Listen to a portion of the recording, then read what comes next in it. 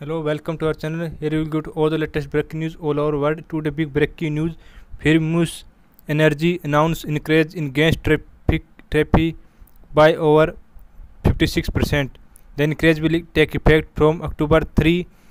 Firmus Energy has announced plan to increase its nat- natural gas tariff by over 56 this winter, taking effect from October 3. Customer in both the Greater Belfast and 10 towns network will see price hike in their gas bill.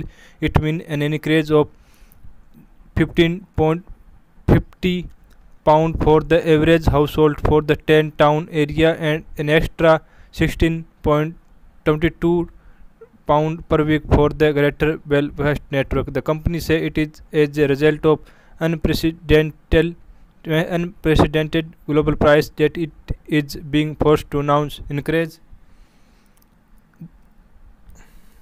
all the breaking news please subscribe my channel. Thank you for watching